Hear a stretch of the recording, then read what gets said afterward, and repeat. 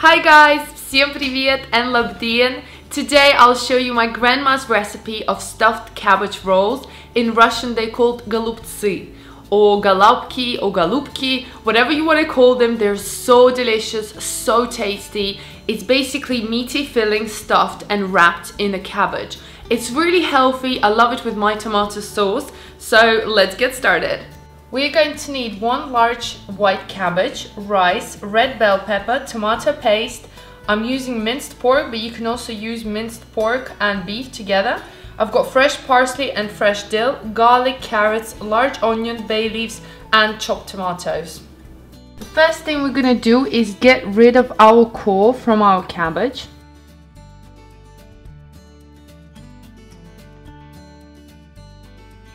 I've got two pots here. We're going to add our rice into one pot. And we're going to add our cabbage into the other one. I'm going to do everything in my food processor. If you don't have one, just have to chop it by hand. And fresh parsley and dill. Into a large bowl, add all your meat. Add your onion, garlic and green mixture.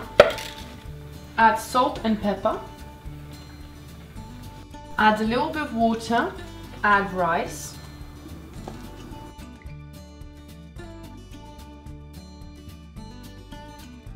So I've been cooking my cabbage for about 10 minutes and you can see the leaves are starting to fall off from the middle but it's still quite hard in the middle so I'm just gonna leave it for another couple of minutes. We're going to leave it to cool down. Add your onion. Add your grated carrots. Cut your pepper into small bite-sized pieces. Add your pepper. Add tomato puree. Add salt and pepper. And water. Lastly, add sour cream. Separate the leaves from the cabbage. So the next step is very easy. Take each leaf and we're going to just discard this hard bit here. So just cut it very gently. So put about a tablespoon or more of your mixture and then we're just going to roll it from the bottom up and down until it's like that.